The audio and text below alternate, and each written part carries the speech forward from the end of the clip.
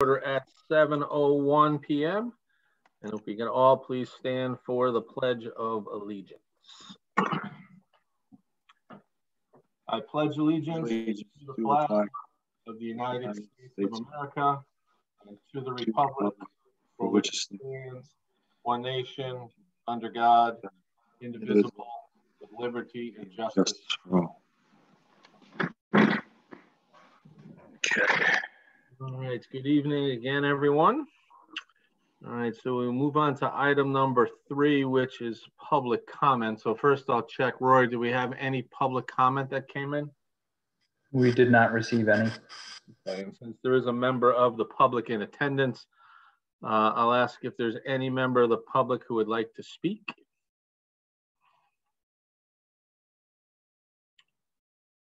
Okay, and seeing no response, then we will move on from public comment. We'll go on to item number four, which is discussion and possible action regarding possible locations of new updated community center. So before we get into, into four and then ultimately five, six, um, you know, it, it's kind of a, a chicken and an egg thing. Um, you know, we have to decide how we're going to move forward. And there's a lot of things that we need to look at. So should we talk about uh, the types of programs that we want to have first? And then at that point, look at where we could potentially hold it and then how much we could spend it. Should we look at first how much we should spend? Um, and then, you know, kind of do it a different direction. So the way that I thought made the most sense, and this is just for our discussion purposes only today. I'm not saying this is the way that we ultimately do it. We'll decide on that as a group, obviously. But was the first talk about the different locations, and we started to kick those around. I think the first thing we need to do is determine where we think the best place to hold or have the community center would be. At that point, um, we could start to talk a little bit about uh, how big we can have it, and that would come into uh, to price. And I know that Mike has prepared a document which I'll share uh, in a little bit as part of our discussions. And then ultimately we'll get into item six, uh, where we can start to talk about some of the facilities and usage. And again, some of that may be a little premature at this point.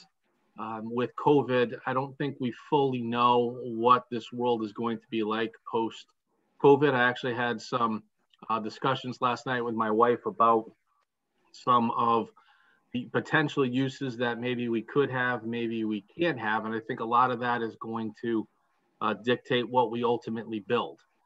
So again, we'll slowly work through these uh, these three. If we don't get through every single thing tonight, that's that's not a problem. I think we have some time, but we can just kind of keep progressing in that fashion. So um, the first part, like I said, we're going to talk about locations, and I have my notes um, from the last meeting. And the, the three kind of main areas that we had talked about, um, and then we'll, we'll just kind of take it from there to see if there's any additions. Number one was building it in its existing location on the property that is available.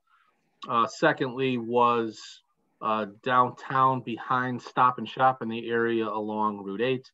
And then the third was the Tri-Town Plaza area. We, uh, at the last meeting, seemed to think that the Gary Park uh, idea was not the best uh, solution.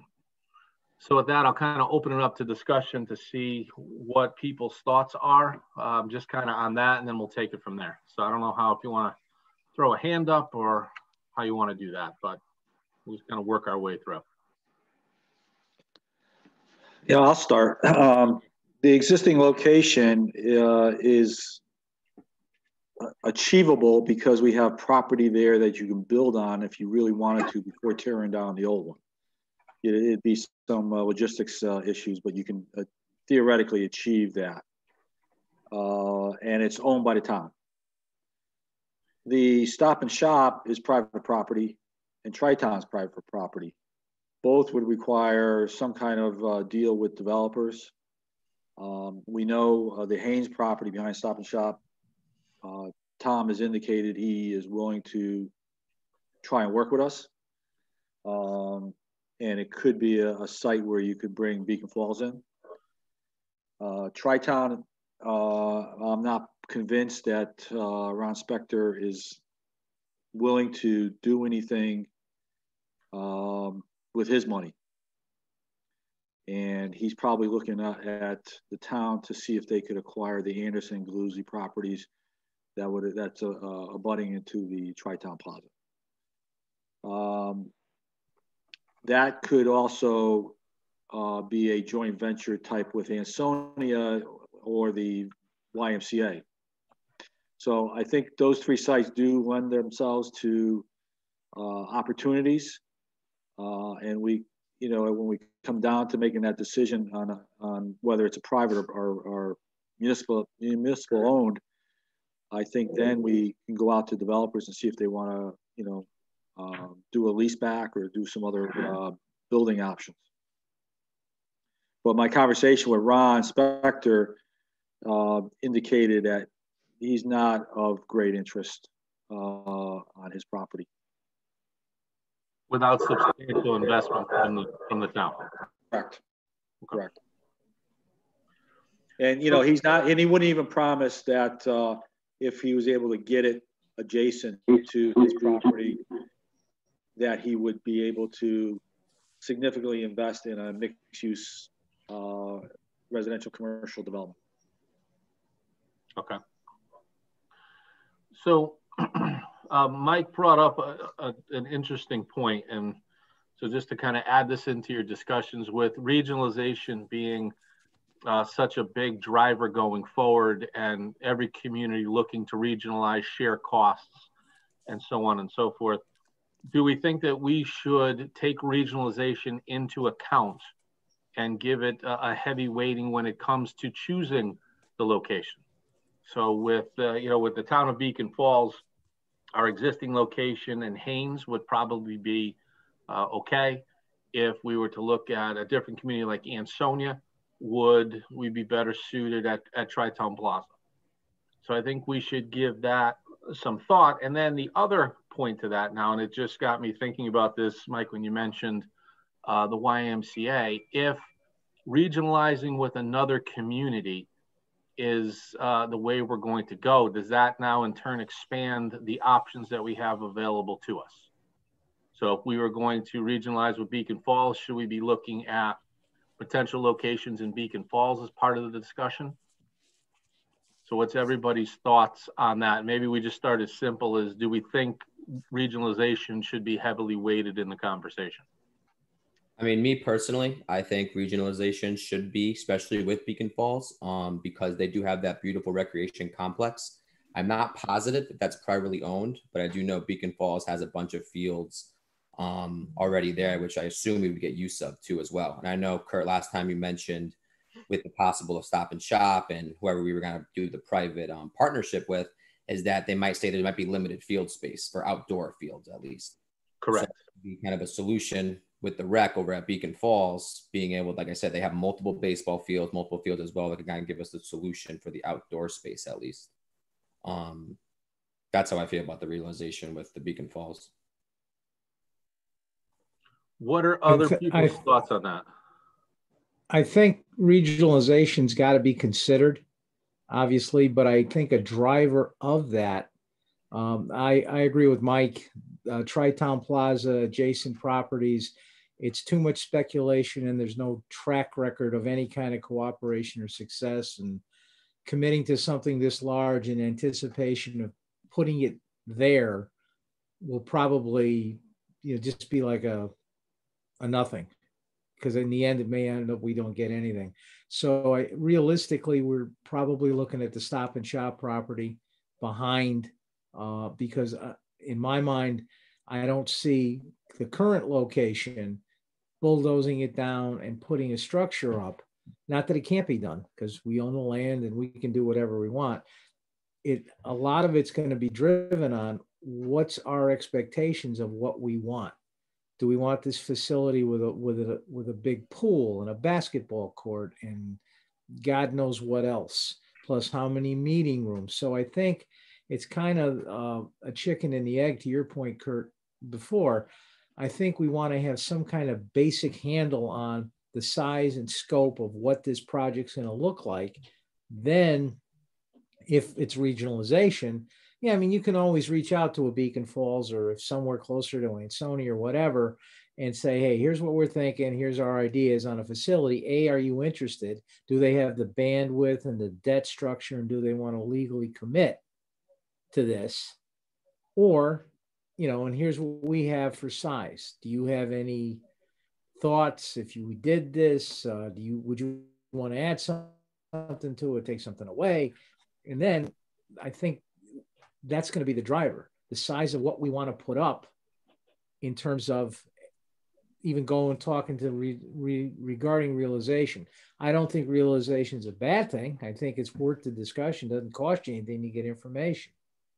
But I think a big driver of this is how big and what kind of facilities do we want in there, plus parking, plus whatever other fringes might go along with something like this. See, and I think that's where we kind of run into a, a, little bit of a problem. If we went back a year in time, before COVID, oh. The current community center location was absolutely too small. And we did, we had some preliminary sketches done of what we could possibly put there. And there was absolutely no way what we wanted for the community would work there. There just wouldn't be enough space. But now in this new COVID world, is there enough space there? So do we look at this in two ways? Do we look at building it as if COVID never happened? with the assumption that the vaccine will, will take effect and COVID will, will eventually go away, the best can go away, and we'll get back to a more normal way of life? Or do we think that COVID is something that we're going to be dealing with for years to come and we're not going to have large groups and, and things like that again? So, should we look at it from two different angles? Because again, if in the old world, behind Stop and Shop, probably was the best spot because then we could build something that encompassed fields potentially and things like that. On the community center lot, we wouldn't be able to do that. But to Mike's point, we can go up and we can have a lot of different floors that way. So what's everybody's thoughts? I think you, you want to be optimistic and at least at this stage of the game, hope to see what this vaccine does, what all of the other advisories and will this go away in a year or two? Because one of the advantages we have, I think, is a little bit is time. I mean, we don't have to sign any contracts, put shovels in the ground right at this point.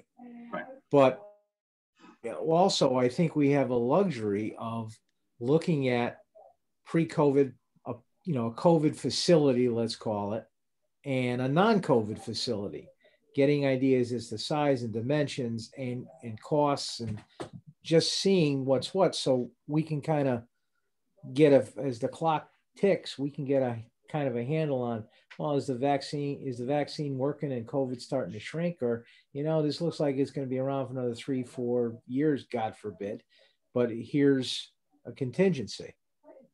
Right. Uh, tim i think you had your hand raised yeah, in regards to uh, the existing community center, I th- I think even you know, COVID COVID wise or non COVID wise is definitely it's it's not a big enough parcel for what we're going to be looking at. Even though we could go up different stories, if you're looking at a pool, you're looking at basketball, you're looking at parking, you know, it's just and again now you you, you take you know COVID into the and all the new regulations we're probably going to run into in the next three to five years of building regulations are if we don't do a public private you know entity like that you know like somewhere like in in that case our costs are just going to increase even more. We're going to be out of the ballpark. We can't afford it to begin with. So i think by the time if we're saying you know public private we're somewhere around 14 15 million you, you know if we don't go the route of, of that and we already own the property so it's got to be a, a standard build we're, we're looking at 18 to 22 million by the time we're said and done. And it's and that's not feasible it's it's definitely not feasible. Who else has comments? Anyone? Suzanne, sure. Um, yeah, I think there'll be a new norm after COVID, and who knows how long that will be to take place. I think regionalization would be helpful because, um, as all the items that were mentioned, but also um, you know, increase our capacity and there's strength in regionalization too, because we could bring more to the table and offer more that would help. And I remember the earlier conversation at the first meeting that Newtown built a beautiful facility, but there's a lot of vacant rooms and that's not being used to capacity. So to make sure that whatever we build will be um, access, accessible to many, then we'll have the option to be able to utilize it more fully and increase our capacity. And then there's capacity building grants, et cetera, is avail available. One, one of the things that we should consider uh, coming up with your comments, uh, Tim, you know, we ought to program what we need. So we at least understand the size of the building and the relationship to parking so we can understand what size parcel we need, whether it's on the Haynes property or our own property. Um, if you don't do that, then you're you're going to constantly, you know, second guess and, and be in a, area where you don't know whether you got the right size parcel. So if you program it, you know, is, is it a pool? It's a basketball court, fitness center, locker rooms, uh, and then from there, what other uses uh, are we proposing to include? You know, is it going to be a, a meeting rooms? Is it going to be a lecture halls? Is it going to be uh, something for the Boys and Girls Club? Is it going to be something for the food uh, pantry? You know, so let, let, we should program it so that we know exactly what we're thinking about the size of the building, and then just do some test fits on some properties. Yeah, I agree. I think I think that our next step, I think, is pretty much put a wish list together of what we think that we're going to need for, or you know, the wants, the needs, or whatever. Put that together and start breaking that apart, so you could so to Mike's point, he could get a square footage of what we're actually looking at. I mean, I, have, I, have full, I, have a full wish list ready to go right now. If you guys, I know you do, Zach. Kurt, Kurt put up the uh, list right here. That chart? Bullet points. Uh, yeah. or actually, um, Rory, can you give me um, control so that I could share? You should be able to share screen. Oh, okay. Hold on one second. I got it ready to go.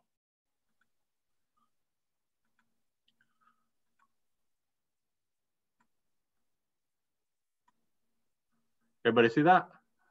Oh, there we go. Okay, so let me walk you through this.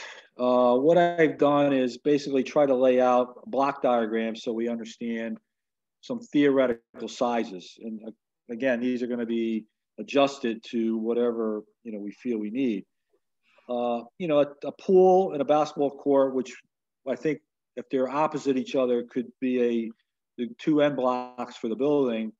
They're both going to be about 5,000 square feet, but they're also both about 25 to 30 feet tall. Okay.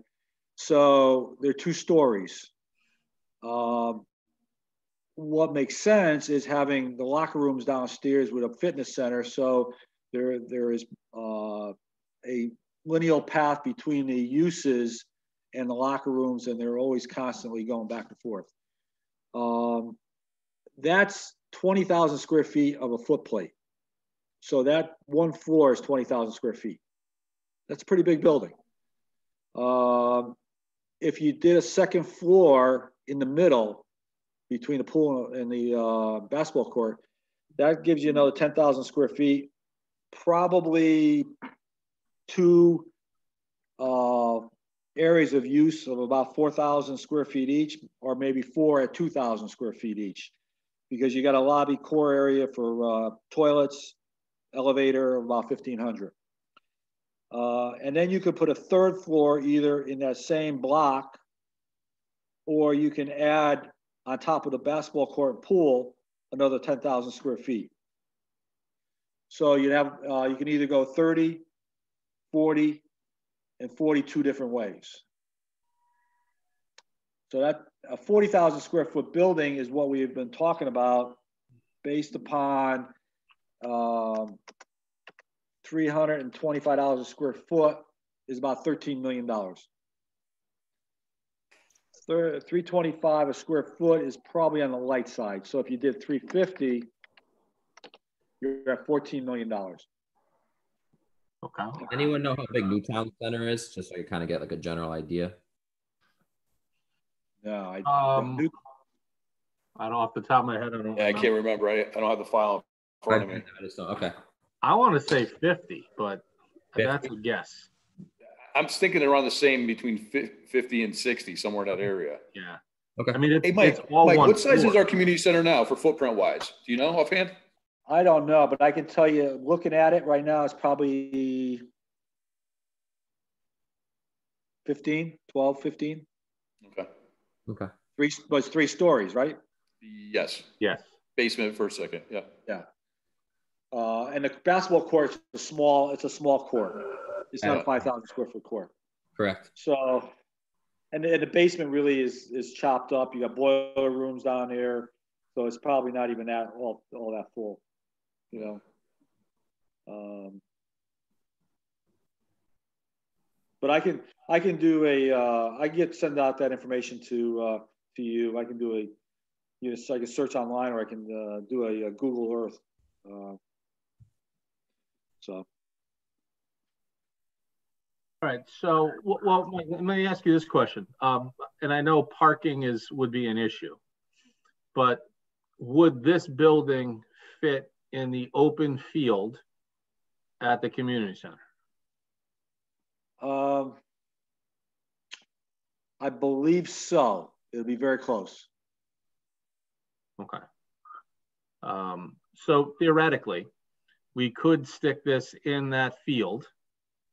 Um, and then eventually knock the other building down, excuse me, or potentially even keep the gym standing as an auxiliary gym and then knock the rest of the building down uh, and have parking. Hmm. I don't, I wouldn't, I wouldn't say yes or no on to that because I don't know how, I can't remember if that gym was constructed after, probably was constructed afterwards. Uh, but it might not have the proper bracing. If I built it. may, I believe it was an after-built. Was Right. after- But they may have used that party wall to the building for bracing. And if you take that hold up. building down, you may not be able, you know, keep that building standing. Um, So, I mean, that's, that's, uh, that's probably a costly item. I, I do know if, if basically if you use that a lot, the, the field, you maybe don't go in a, this lineal rectangle type, uh, environment. Maybe you do a L shape. Mhm. And you can make it a little bit differently and, and definitely would fit that way. I'm Okay. just thinking the size of this uh, building is, uh, 50, 100, it's 200 lineal feet long. You know, that's pretty close.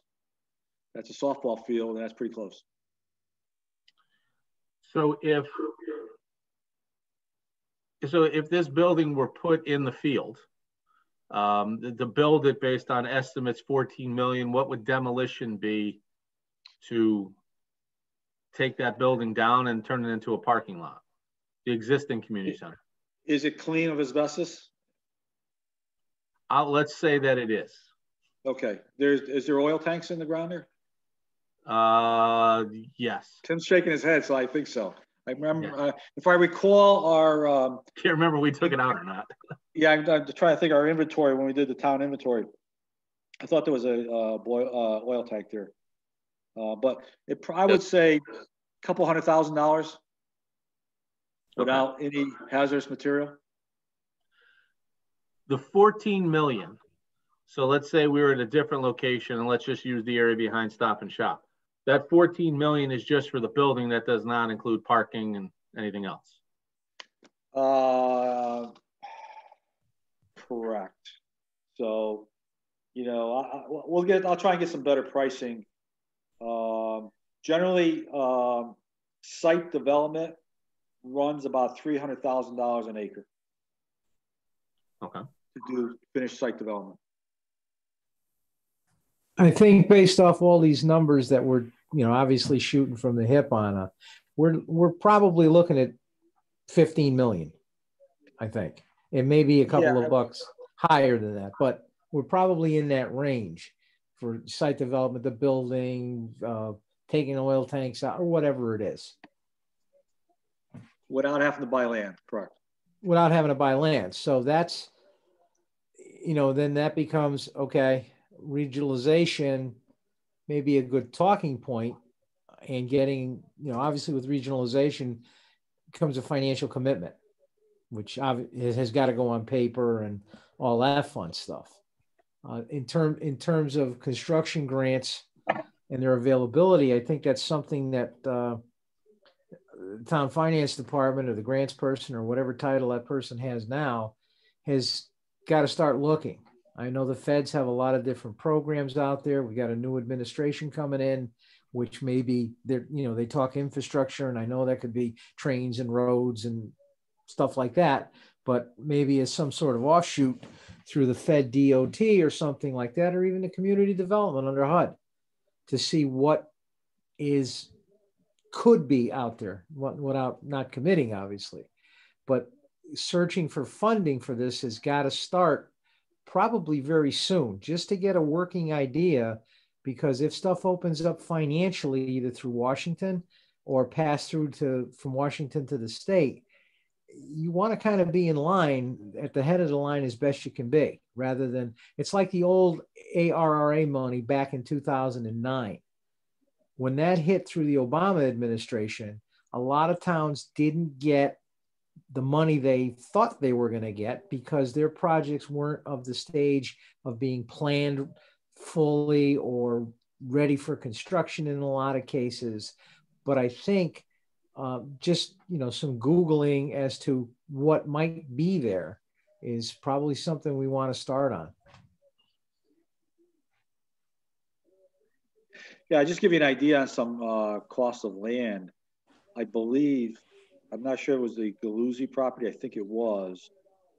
They were asking like eight hundred thousand dollars, and there's yeah. only probably maybe an acre and a half of developable land. The rest is the whole mountain. we'll build you know, it sideways so, on the hill. Yeah, um, that's why you know you really have to put it together with the Anderson property, which has you know, a similar type environment, but it's it's flat, so you have you can pick up two three acres there. That gives you about you know a hundred thousand square feet of land to work with for parking and uh, building. So that's tacking on even more than what we're talking about here, simply yeah. because so we have the land. Then, yeah. So now we're up to 16 million. And, you know, to Tim's point, yeah, could this go to 17, 18 with underwriting costs and legal and all of that stuff? Yeah, wouldn't take much that's why looking for money is you know something that maybe wants to start out. Just to see. Now you could if you use the uh, the old community center land you could probably design this building so that you could add on later on.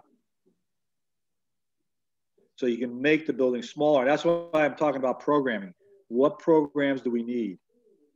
You know what are what uses? Who's going in here? Do we need, you know, 20 or 30 or 40,000 square feet of of uh, community use outside of the pool and basketball court and the locker rooms in the fitness center? I mean, or do you, or do you really look at the YMCA, you know, the YMCA moving their off their their regionalization here? I know uh, the YMCA wanted to go into Oxford into uh, Haynes's property over there, but they couldn't work out a deal. Yeah, I've, I've had uh, multiple conversations with the folks um, from YMCA. Who'd you talk to, Kurt? Did you talk to Dave? Uh, no, um, I don't have their cards in front of me. Um, oh God, Tim and. No, got to call talk to Dave, who's the executive director of the uh, Coastal YMCA. I think it's Coastal or something. I can I can talk yeah, to him. I think Tim Bartlett is the COO. Yeah, I would say yeah, because okay. these were the yeah. I I have their cards. I just can't picture them, but um, you know, because we talked about a lot of different options. Um, you know, at the minimum, they would love to come and run if we have a pool, run the entire aquatics program for us. Um, so again, trying to take some of that cost burden off of us, but they did have interest in um, the, the regionalization model where maybe they built it if they can come up with the financing and then you know we leased it back from them or uh, they were certainly open to any type of arrangement um, that would make sense for them and, and for us so they were they seemed very willing well, to, to do that. That, that, that may not be a bad option if this, the, uh, the town leases a portion back. They're gonna borrow under the, uh, pretense of, uh, the town of Seymour, which would give them, uh, that would leverage their, uh, borrowing capacity. Right. Bill, is there any advantage to them borrowing the money as opposed to the town? It, it depends, uh, you know, if you have a private placement, so if the town, if the town borrows it, there's a better chance of it being, uh, tax exempt to the bondholder, the income. Than if a, if, if a not-for-profit does it. But, um, the one, the one question I have is, and I think I just, either you or Mike mentioned it. uh, YMCA goes out, let's say, and borrows uh, $10 million, whatever it is, of their share. We have to be very careful that the town is, does not get uh, looped in as the grantor on that debt.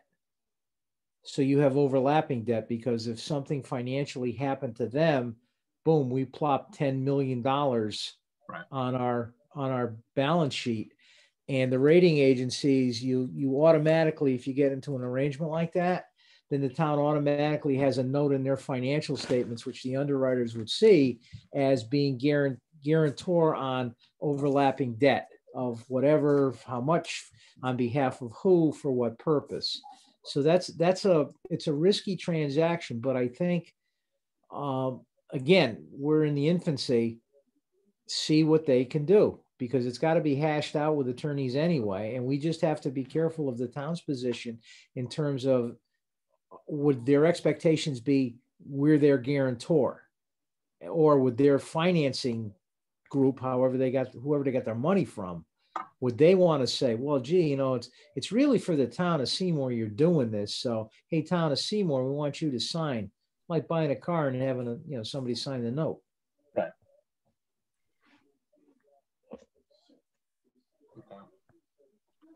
I mean, at 15 million for 30 years, we're probably looking just, just below 700,000 a year. Yeah, give or take. Principal Yeah. interest, yeah, Yeah, give or take. Like So 685, you- somewhere in there. You talk, you're talking seven tenths of a mil. Yeah.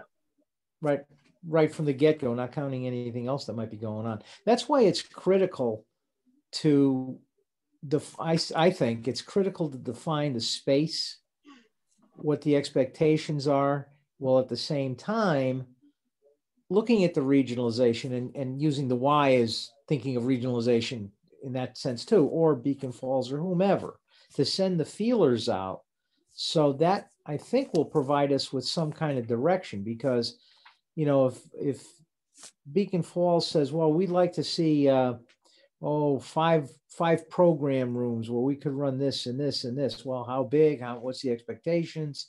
Uh, oh, pool and a basketball court? Yeah, well, okay, we'd like this or this.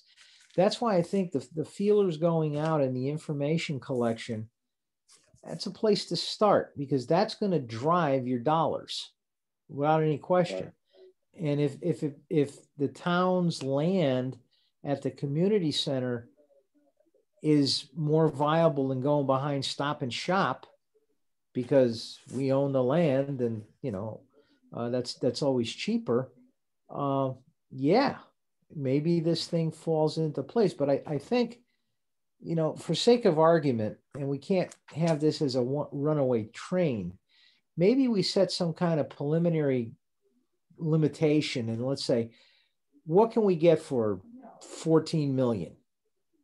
Or what can we get for 15 million? Setting some kind of dollar values to equate to our expectations of what we want in this building Yeah, and I mean honestly as well, working with um, the seniors, and I do the programs for the past five years now. So if you guys have any questions at all, I mean, at least I could tell you what myself, Mary, Tara, our department feels that we need.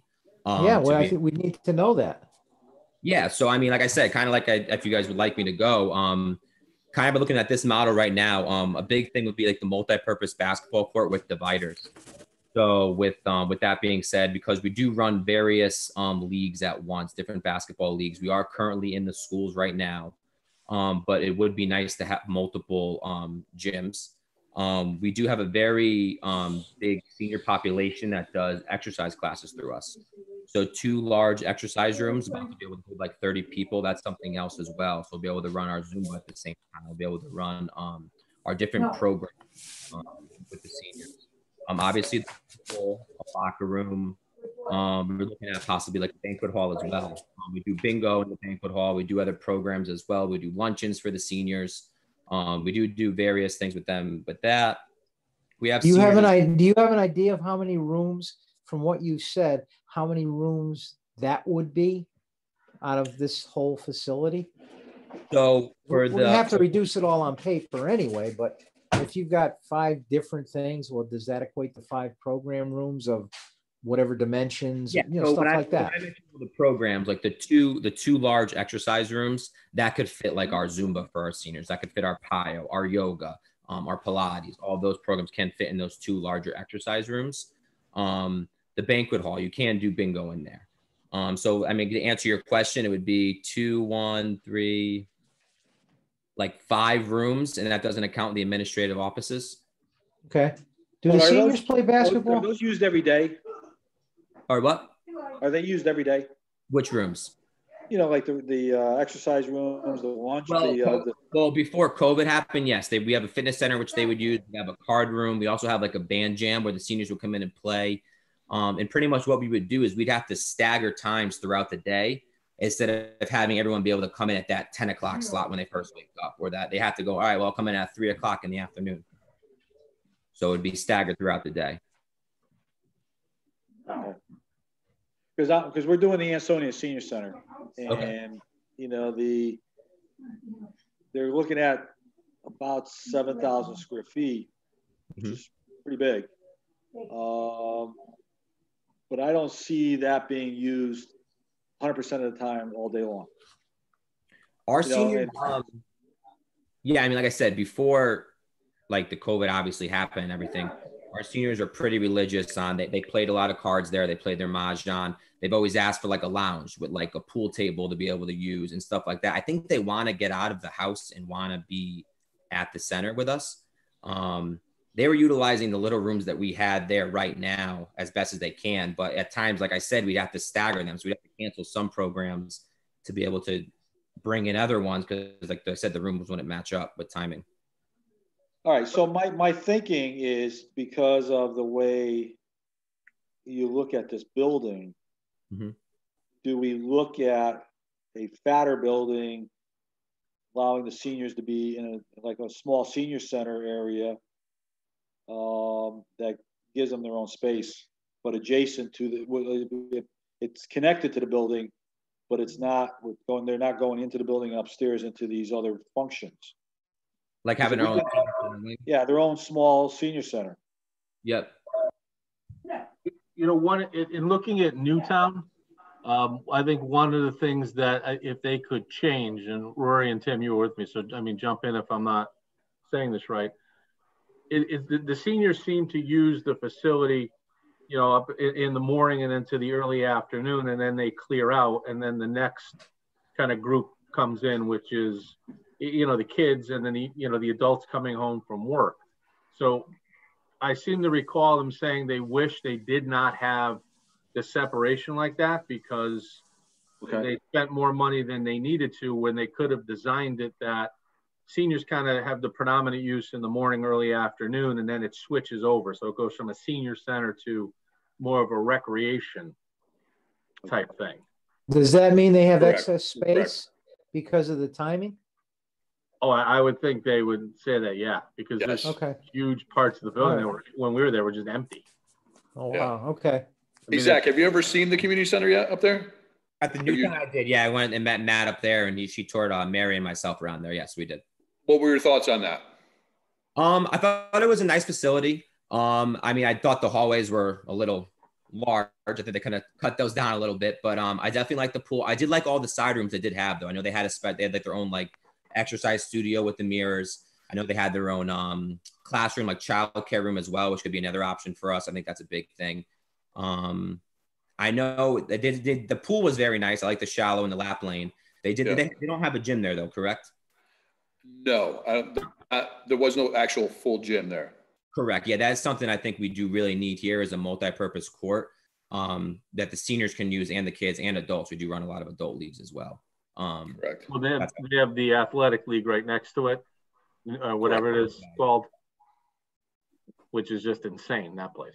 Yeah. Could you- Could you technically use the basketball court or the gym for their uh, large functions if they had a, you know, a bingo day or a luncheon or something like that? Right, right now we do use we do use that. We don't use it for the bingo and for the luncheons because we don't with the food and everything. But we do use like for instance our exercise classes, like around 30, 35 people. We do put them in the gym right now currently. Yes, before COVID, obviously, I'm speaking. Yeah, there's But- definitely certain areas you could overlap and reuse, That you know, throughout the day Yep. on scheduling wise. Um, comparing, I just looked at it was 45,000 square feet was the Newtown one. Forty-five thousand. Okay. Yeah. I mean, there was, you know, a lot of the bells and whistles of wasted space. Yep. So in my eyes, you're probably, there's probably about 15,000 square foot of just wasted space in that building. Okay. At least. So, But- I'm- I, I mean, in, in hearing all this, so at that third floor, we'll call it, third floor option one, um, could one of those larger rooms then kind of be a multi-purpose room where it is um, set up for, we put some kitchen type equipment in there, and then it could, it could be a, a banquet hall, it could also be a large meeting room. Would that make sense, you know, multi-purpose like that? on the third floor? Yeah, I mean, yes, but then again, like even like Newtown, they had that little luncheonette downstairs when you first walked in, which I think was a great idea. They had the, the special needs kids that came in and ran, you know, work Right. there for at the at the place. Um, something like that on the third floor wouldn't work, but like, but going back to Newtown, they had that full kitchen. Well, they had actually they had two full kitchens, they had two full kitchens. which were a little too much. They had one for the senior center in itself, then plus they had their banquet hall one. Um, would, if you took that banquet hall and put that on the third floor, yeah, that would be great. That would, that would definitely be, um, usable space. And that could be used for bingo, that could be used for a lot of things. I think if, if, on, our, our, our team right now, if they haven't seen that space, I think it'd be a good, idea for them to tour it, just to get a gist of what, what they did for fifteen million dollars versus what, you know, again, it's, as soon as you see, you see what's, what's good and what's bad about it, in my eyes.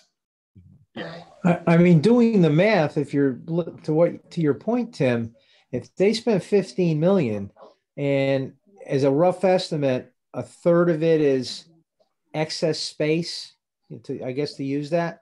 Mm-hmm. So, I mean, if you do the math, is it may be too simplistic, but if you're coming down from 15, then you're down to 10. Yeah. And is that is that realistic? Maybe. I mean, if we know the sins they committed, so we don't commit them, then yeah, that's a plus in our favor to lay out again the size of this thing. Again, coming back to how many rooms and what do we do with it, and a pool and a court and whatever. But yeah, no, I think that's I think that's real helpful. You know, especially you guys that are familiar with it. You know, I mean, just off this conversation. Well, they put two kitchens in. We don't need two kitchens. They put wide, wide hallways in. We don't need wide, wide hallways. I mean, that that type of stuff translates to dollars. Correct. Yeah, they had the, the money after the, after the, uh, shooting. So they, uh, what was it? General Electric gave them five or Yeah. ten million dollars toward the community center. Yeah. Oh wow! Benefit the community. So they, they went a little, General Electric. did. yeah, they went a little crazy with the money. Hey, Um, you know how had- architects will, architects will spend every dollar, every nickel they have. Yes, they will. Do I guess. I do guess we know? Do my we goal, know? what I'm how- thinking is, we want to be able to run multiple activities at the same time. Because right, Right. now, what we're doing is we're staggering activities throughout the day because we don't have enough space. So if we're able to run multiple activities throughout the day in these different program rooms, I think that would be uh, a run for us. Yeah. And again, you're going from what your usable space right now, you know, shoot off the top of my head, what, eight thousand square feet, maybe ten thousand square feet? Give or And that's, that's, you know, being generous of what you have right now. Mhm. Um, to, you know, something that's actually twice to three times the size of what you have right now. Correct. In in looking at this, if we're talking um, to Kurt's point, uh, he, they got five million dollars or whatever towards the community from GE or whomever. Uh, did they bond the rest of it? Yes. Okay. So that's what I remember. All right. I mean, it's a lot easier load to do 10 million than it is 15, Yeah, oh, yeah. but we may Well- not need 15. Hopefully we don't. I don't know. Well, I, I'm gonna be, if, you know, we get it down into that ten million range, so now maybe you're looking more towards the high fours. Give or Well, take yeah. for your principal Well, and interest payments, we can almost fit that directly into, you know, if we keep our debt service line level. We can almost fit that in and, and pay without any impact to the mill rate. Well, that's that.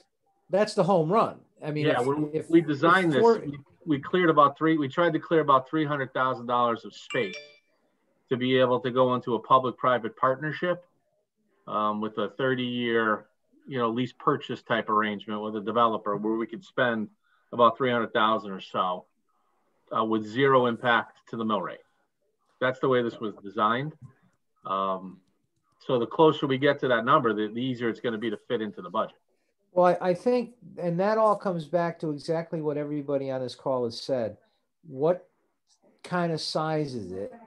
And and maybe we make the assumption, and I don't know, we make the assumption that the senior center land is going to be the fit for it, for the hell of it, to just for the sake of being able to put stuff on paper, and see for size and utility space and all that what it is, and at the, then at the same time reaching out to contacts, you know, to Beacon Falls or Ansonia Y or whomever, to see what we can do with this. So maybe it starts to come together a little Now- bit more than than it is. Mr. Now, I put a uh, fitness center in there. Do we need a fitness center?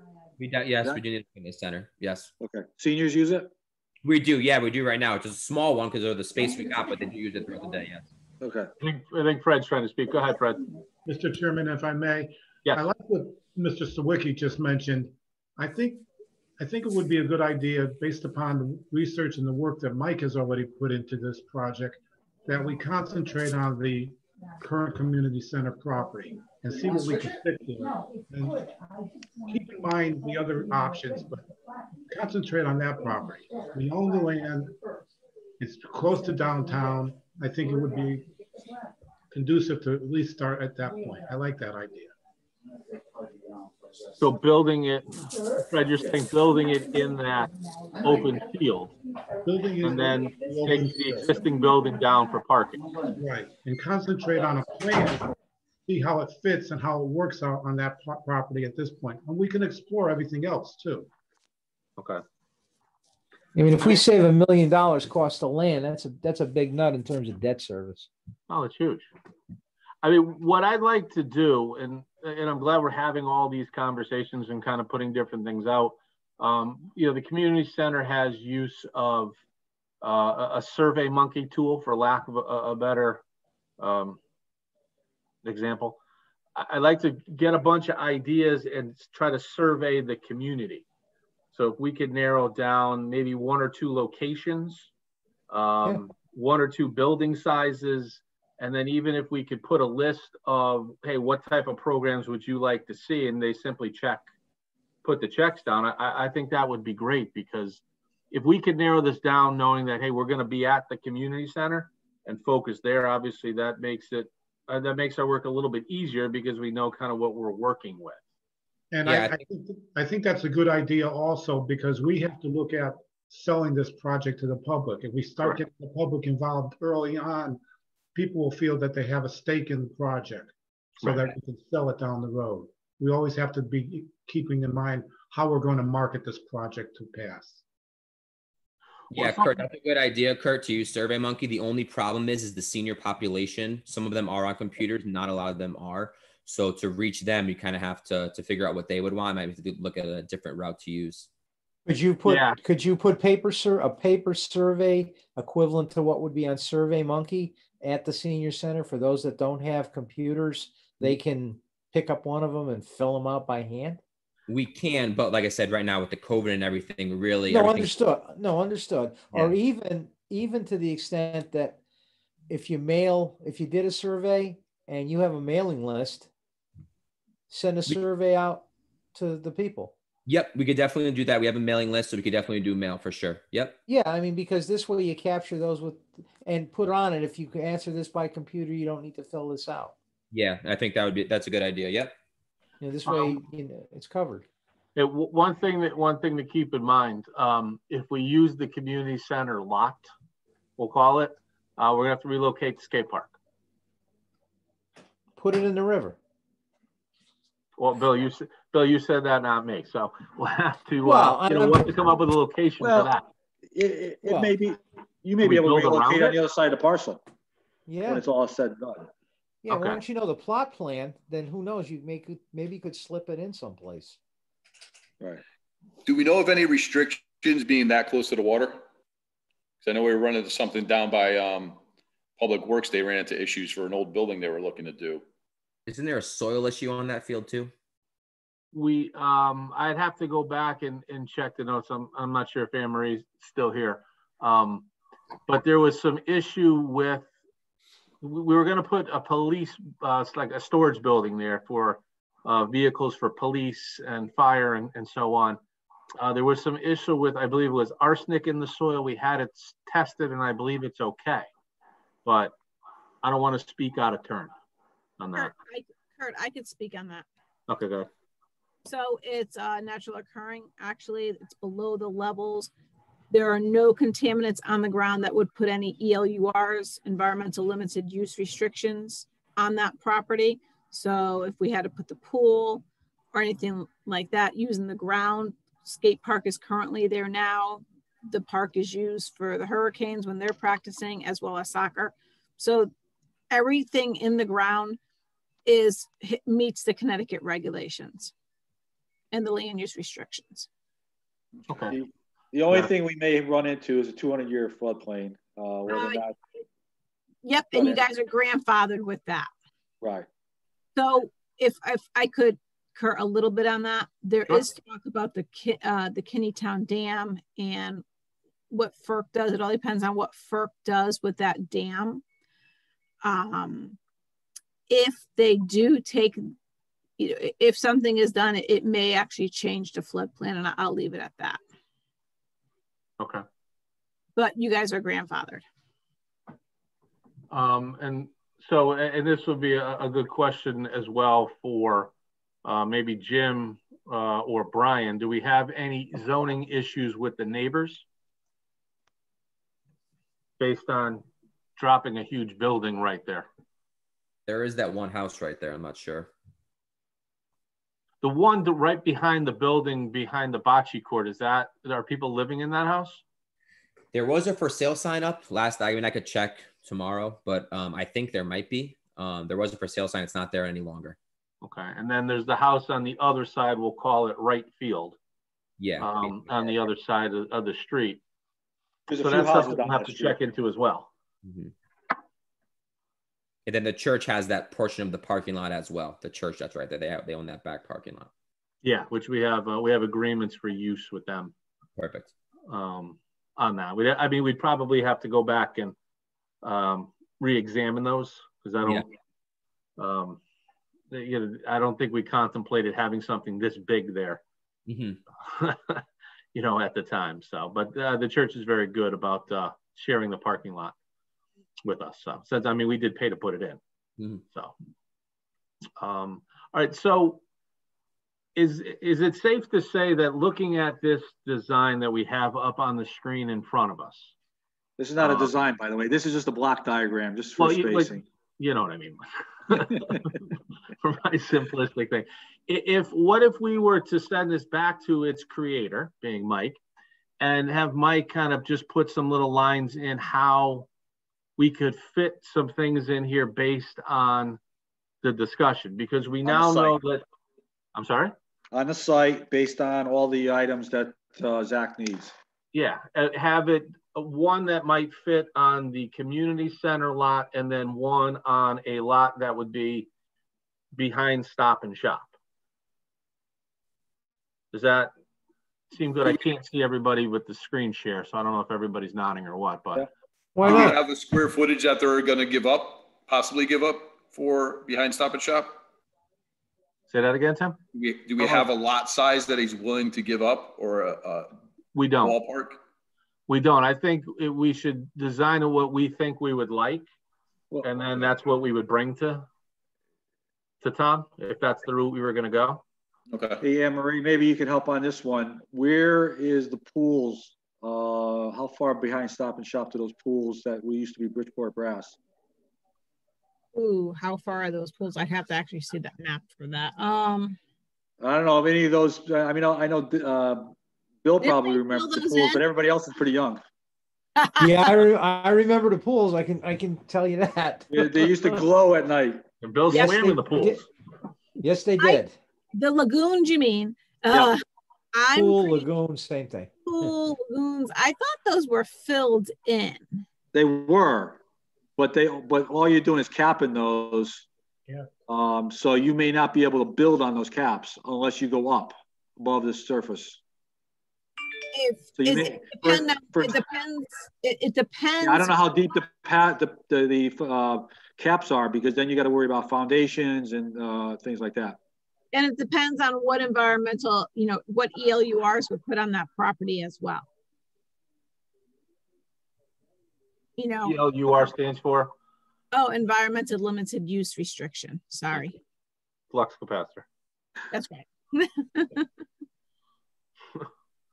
and, and if um, that's the case, then we see where the you could see where the lagoons are, and maybe put the pool in a different area. But it all depends on again where they are and what restrictions are put there. Would the building department have the diagrams for all of that? Um, I don't know if the building department would have the diagrams because once the property was sold, it goes, nothing is there, so they wouldn't have any, di- huh? Yeah. No, I mean, ju- I mean, just just you're- the old. right, the old They may sketches or have the old maps. Yep, the Yeah. old maps, the building would have the old maps. We can look there. Yeah, I Absolutely. mean that might give give us because they. I remember when I worked there in the summers going to going to school. I mean they in the wire, uh, the chemical building towards the back. I don't know in perspective how far that would be back, given what Stop and Shop is and whatever. But you know they had some nasty stuff there, and you didn't want to you didn't want to go near it. But Oh, maybe the old maps or the, the the plot plans or whatever you call them. Maybe in the building department they've got the old stuff that at least would give you some idea of where stuff is. It, it'd either be in the building department or the fire department, um, the fire marshal's office, because they Maybe. would send in all their, their data to the fire marshal. Maybe, uh, yeah. That's, that's a place, I would start with the fire marshal's building and department, sorry, and then go into the building department. So the land right behind Stop and Shop is owned by Stop and Shop? Uh, no, I think it's No. owned by Haynes. Haynes. Yeah, Yes. right where the where the parking lot ends, kind of the back where the loading docks are. Yep. It's not more than hundred feet off those loading docks. Okay, so the, the, then that's probably, the Stop and Shop is probably where the lagoons are. Okay. Could be, they could have capped it and because they're not, you Yeah. know, they, they're not a childcare center, they're not, you know, Right. have a pool, they, that possibility. I know that Stop and Shop did, uh, they did cap that, Stop and Shop when they built that. Um, So it may not be an issue. right. The only thing, it may be an issue when you go to drill, uh, drill and go to cap, but we can, we can see, maybe they could put a, a barrier down uh, before we pour our foundation. Yeah. I, I can also give Tom a call, find out, Yeah. you know, what he knows. Because he's gonna, we're gonna be asking him to turn it over anyway. Yeah, we just want to make sure that we don't have any liability issues with that. Right. And the transfer act is uh, changing. So, you know, I'm not quite sure what the new changes have put into that one, but um, we can, we can see from there as well. Okay. The transfer, I'm, I'm sorry, if, if you don't know what the transfer act is, the transfer act is when you sell a piece of property that has contaminated soil or has used hazardous waste. Um, it has to go through the transfer act for liability purposes to clean it up. The, um, again, the, the other thing to keep in mind, if, if we build it on the community center land, it's, it's purely going to be debt service. Um, if we build it behind stop and shop, we have the potential of using it to anchor some type of development similar to uh, Oxford. Um, so again, there's something to consider there as well when we talk about how this fits into to the budget. Uh, I, I, don't remember off the top of my head, um, without looking back at my notes, all of the numbers for uh, what Quarry Walk generates for the town of Oxford, but um, it would more than pay for. Oh, it's so. probably, you know, over a million dollars in taxes right now. Yeah. So, you know, if, you know, that's something to keep in mind as well. While, you know, we have additional costs for being, uh, uh, uh we, we, we save costs, excuse me, for being at the community center because we don't have to acquire the land. You know, there could be some value. And I think when we kind of put this together, we have to look at that, that if there was some type of commitment from, from Tom, and I know that he is interested in this, uh, that over a 20 year period, a certain amount of development is put in, it could substantially reduce our long-term costs for this. Um, and you know, we could even talk to him about uh, you know a lease purchase type thing where certain development milestones have to be hit for extra dollars to come in and and different things like that. So um, the the other the other aspect what I talk about is that if he does the building, builds the building, the town won't be subject to prevailing wages. Correct could save another million dollars. Correct. Correct. So there's a lot of advantages. So I think that are we all in agreement that these are the two locations that we should kind of be focused on at this point? And I can't, Suzanne, I can't see you and I can't see Tim anymore. Um, just because as people talk, you kind of move around on my screen. I'll talk. Um, go ahead, Suzanne, and then Tim. Sure, I agree that those two are good locations to um, to, look into further to you know see uh, where our options are. And I'd, I'd be willing to work with Zach if he wants on the program side, or if someone wants to go to Newtown, I'd be happy to go with someone else to observe that too. Okay. Um, Tim, you're you're good with those two? Yep, I'm good with those two those two parcels. Okay. Uh, Zach, Fred, you guys just kind of working my way back up the rows. yeah, I'm good with those two locations. Okay, Fred?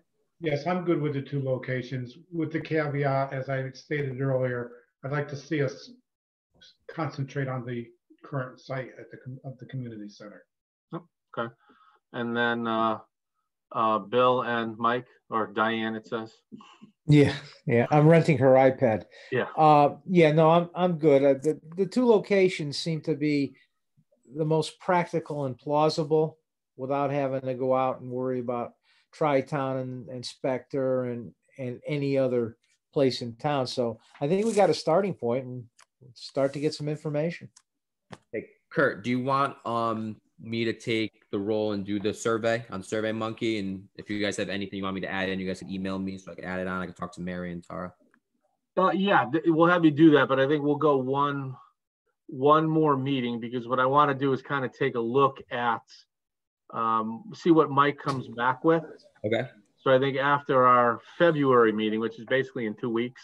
Yep. Um, I, I think we can do that, and we could put because what this will do is I think when Mike comes back with his uh, block diagrams, yep. uh, at that point we can kind of sit down and come up with a list of, you know, basketball court, fitness center, um, dance studio, everything, and, and come up with a list of maybe 15 or 20 things, and then have the residents go and check the things that they think are important.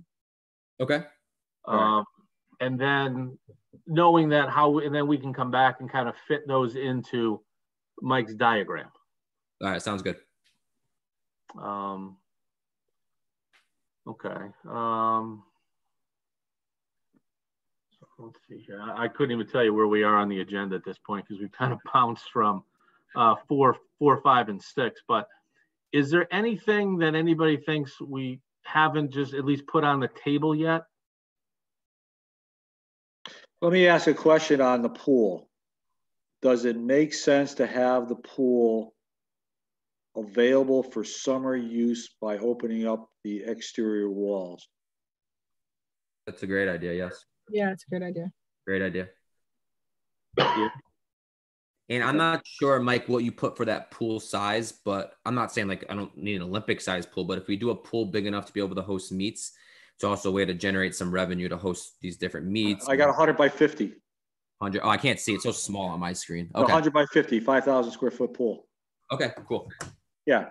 So by by putting in an operable, uh, you know, wall a wall there, you can open it up for the summertime and Yeah, it's a great idea. You know, summer recreation. That's an awesome idea. Yes, great idea. I have never I've never seen it anywhere else, but it's I I I think about that. and Say why not take it take advantage of it? Yep, that's. I think. Hamden High School had that. Um, there's some YMCA's that had that as well. I have to think back where they were. I, I, I, I, I think you're right um, on that one. And I thought there was another school that had it because I remember going to a meet there for one and they opened the, the, the wall in the summertime. Well, that's, that just made it 16 million. Um, Nah, so Tim, there's a lot of economic economically uh, ways to build a building. Yeah. you, garage door, the garage door opener is gonna keep breaking, somebody's gonna lose it, and you know, it's gonna be a whole, it's gonna be a whole to do. Poor Zach's gonna be there hand cranking that baby up every summer. I will do That's a it. smile on my face. If you get me a pool like that, I'll do it with a smile on my face every day. So How do you just, Mike, one question on the pool. Um, Yes. is it, because, you know, when we went and we looked at Newtown, Newtown had a pool. I mean, to Zach's point, it was smaller, Right. but it also con- connected to it. It had a therapy section. It kind of had a kids section. It had the zero entry section. I mean, are we talking just a swimming pool like the high school has or? No, I think you probably have to do something. Well, you got to have a handicap accessible anyway. Right, right. So uh, that's going to have to be part of it. Um, the therapy, you know, we ought to look at that. I mean, how much use you get out of the the cost of putting something like that in, and that's really Zach Thomas. You know, uh, from, from from a therapy standpoint, doesn't Griffin have a pool in their uh, breast uh, cancer center? You know, from a therapy pool therapy, but the Huntington one, uh, I know for a fact that a lot of the physical therapists use that uh, pool up in Huntington. Yeah. So we can look at that. Because again, we There's ways to look at that. because you know if we, we still have the pool at the high school um, so it's, you know to zach's point if you know we take some of the, the pressure off of the high school pool um, could we still generate the revenue through there and now you look at the community center pool as more uh, you know swim lessons and recreational swim and then maybe leave the high school pool for you know the high school team and then like the wildcat swim club and and Seniors stuff like that Swim as well. Seniors will swim as well too. Yeah, but I mean, this, the seniors, do they need the, uh, what, the long course, short course? I, I don't know the difference. No, no, no, no, no. I don't think so. I mean, they don't need a, a long one. They could, you know, a decent sized one like they have in Newtown could work for them, correct? that is correct. Yeah. So. Okay, Um, we can look at that. Okay. And again, obviously it all comes down to uh, cost. And- And Mike, can you play around too with, and uh, again, I'm not a builder, so you may laugh at me when I ask this question, but um, different levels. You know, does the pool and the gym have to be on the first floor? Does it make sense to, you know, put the gym over the the pool? I'm just making things up. Um, does that Well, reduce there- costs in any way? Uh, not, not really, um, because you got height issues. Uh, both, both those elements really require two stories. Okay. Okay.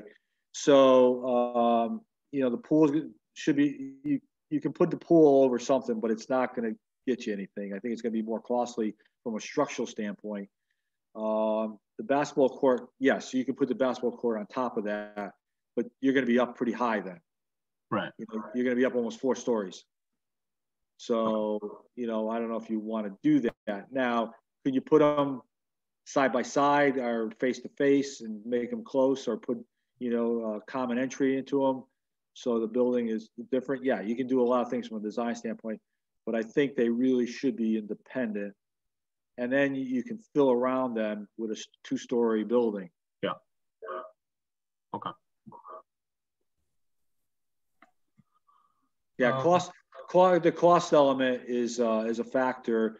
The, the, the, the smaller footplate is generally cheaper because you got less, uh, foundation to work with that you have to pay, to put foundation in, so. Uh, but this type of building is a little different because you've got two-story buildings, both in the pool and the, and the gym. Right. Okay. Um, I'm just checking all my notes. Want to make sure I haven't missed anything. Uh, one of the things, and, and Zach, I know you had brought this up a little bit earlier, and I don't know how much we've touched on it. Um, how important is outdoor space attached or around this building? Um, I think if obviously if it goes to the current community community center location, uh, there's really basically going to be no outdoor space. If it goes to the area behind Stop and Shop, uh, with this anchoring potential mixed development, it might be too expensive to have, uh, you know, we'll call them fields around the building. So is, is that a key thing, or are we okay with the fact that the community center may not have much, if any, outdoor space? if we're able to have an area that has that space, a small small field space, and maybe a playground, and then we already have the pool there, we could run our summer playground camp right out of the community center, which I think would be big. And we don't need to be at the schools or the other areas around town. I'll know more once I uh, fit the building on the site at the community center. Um, as for you know the Haynes property, it's really up to Tom whether he wants to give up more property. Right, I, I get a feeling it's going to be pretty valuable too. Yeah. Just have a, you know, a football field type thing or a baseball field. Uh, Mike, can you try to uh, fit in uh, a playscape Yes. Yes. as well? Zach, do you guys do any uh, daycare? You said? Did I hear you there? Um, we don't right now. We run a pre-K camp out of our community center, but that would be so pre-K. down the road we'd like to explore if the building did allow it. Yes, a child care. All right, and then the, the last two things, and I think uh, we've kind of covered everything at least initially until our next meeting when we can finalize and then get the surveys going. Um, you know, we had the building currently has two other uses right now, uh, the Boys and Girls Club and the Seymour Oxford Food Bank. Um, uh, I don't know if or how we could accommodate the Boys and Girls Club because of just the size uh, that they have, or you know, does it make sense to uh, trying to integrate that into the building. I don't know. We could talk about that, but I, and, again, I don't know if that would change the the setup of the building anyway. But what do we do with the Seymour Oxford Food Bank? Do we try to include this in uh, into the building, or do we look to move the Seymour Oxford Food Bank to another location in Seymour? It's probably PR wise, I think if we made the effort to try to put it as part of what we're doing, now I don't know how much space they'd need or anything like that, but I think you might have a better public relations sell on this if you also said that, oh, by the way, we're taking the, the food bank and we're also including it in what we're doing. Plus, those people that you know are hard up and they need help, it's a it could be a focal point where they go, creating some more traffic and people and and all of that. Does the site, the current site, um, give the, the- provide a benefit to those users? Can they get there by, they get there by car? Do they, is public transportation needed? Who uses the food bank? Seniors? Anybody, everybody? There's Or- or- everyone and everyone. I actually do deliveries for them on Tuesdays. I help out with them, and they're anywhere from 40s up to 60. There are people that go there if they have their cars. If they don't have their cars, um, we bring it to them. We actually used to offer transportation for them as well. The people that could not get to the food bank, but that was obviously before COVID happened. And Tim, what would you say? They have about 2,000 square feet in that area downstairs? Yeah, and now they do. I mean, with with the extra space that we did give them, that the Boys and Girls Club was using, um, we gave to them temporarily that that downstairs cafeteria area, which they expanded. Right. So yeah, probably anywhere between 1,500 and 2,000 square feet. Yeah, you, you probably you you probably got a better or a, more help to sell this whole project if by some miracle we can include them in a corner or one section of this thing. I mean, Mike, could we? Does it make more sense? Well, I mean, I know the answer. It's it's a stupid question, but does it make more sense to find a spot within the facility or to build a small satellite designed for them? Well, that's that's what I was just thinking. Do you take that building on the on the uh, right near the ball field, and you buy it and use that as the the food bank building? Right. And you use the church parking adjacent to it, so it doesn't interfere with the parking that you need for the community center. Right. Because again, I mean, the, there is a connection with the clergy association and uh, the food bank. So there's a potential that we could have some of the local clergy assisting in, uh, you know, if we had to acquire land or something like that. Um, I think that's something that we could reach out to them to at least. Is that state property? Is that state property across the street? That little strip? A little cutout where that big truck parks all the time? Yeah. I- I'm going to venture to guess yes. Is that part of Derby Avenue is a state road, right? Correct. Correct. So Would the state sell it? they may.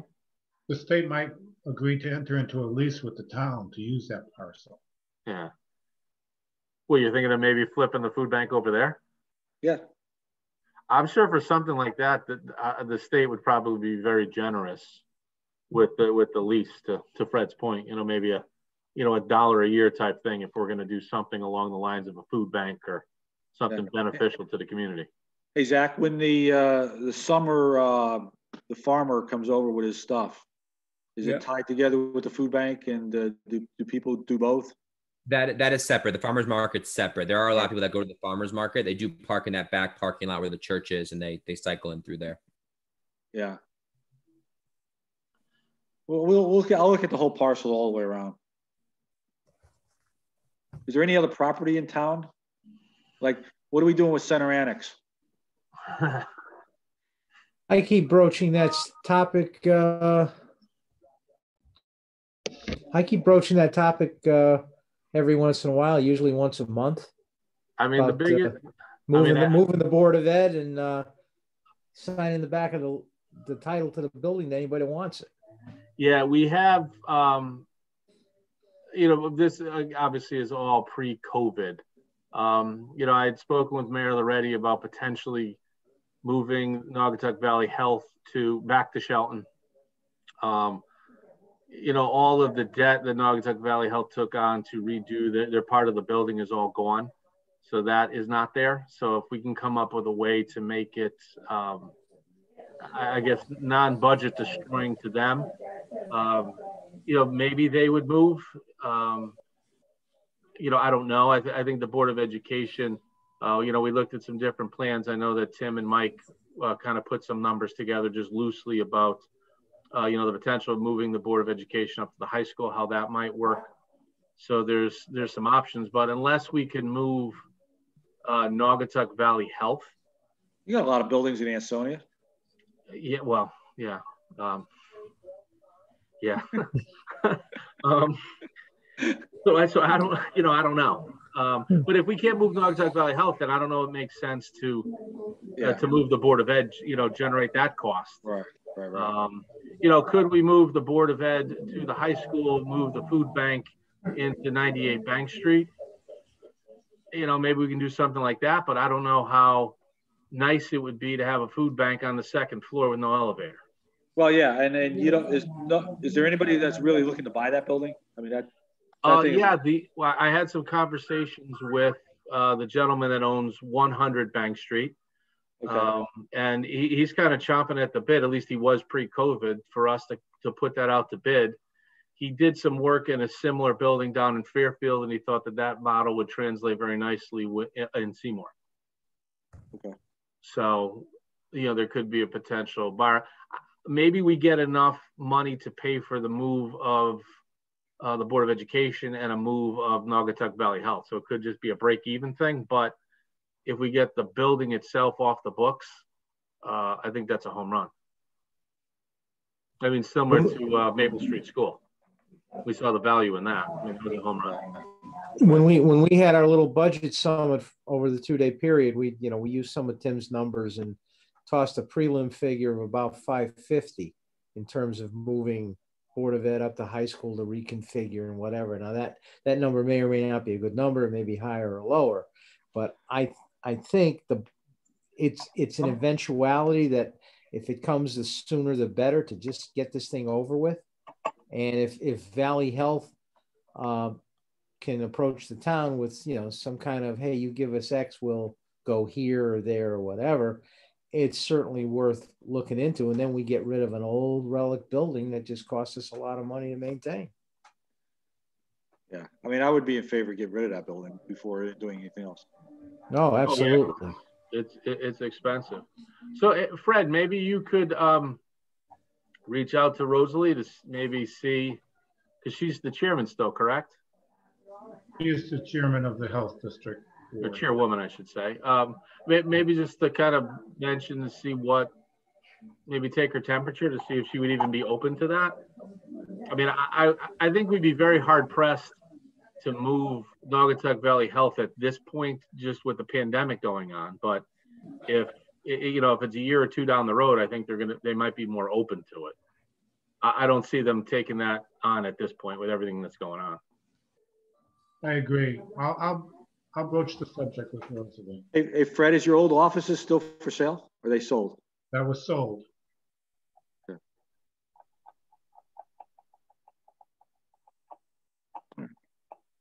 There's gotta be something around, so we, but I'll take a look at the, uh, community center site and see what we can fit on there. Okay. All right, anything additional anybody wants to bring up? Anything we, we may have missed? We probably have to make plans for, for your statue, but I guess that can go towards the end. Yo, yeah, that'll be the last thing. Okay. Nice plaque on the wall with his picture. Bust, his bust. Yeah. My, my picture's not uh, doing any good to anybody. I can tell you that right now. Um, all right, so the date of our next meeting, just pulling that up, is we are Thursday, February 4th.